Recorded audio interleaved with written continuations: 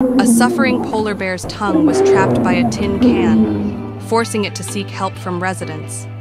Summoning courage to investigate, the bear would retreat at the slightest effort, perhaps due to pain. Several attempts to remove it proved futile. The residents noticed the bear's tongue turning black from being trapped and felt deeply sorry for it. Sensing the residents' inability to help, the bear silently left without disturbing them, not venturing far due to its injury. The residents contacted a rescue station for help, and equipped with tools, they hurried to the scene.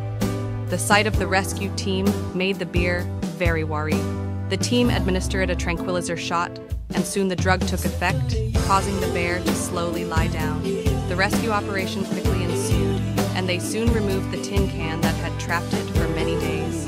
They then transported it back home, surrounded it with plenty of food, and left after the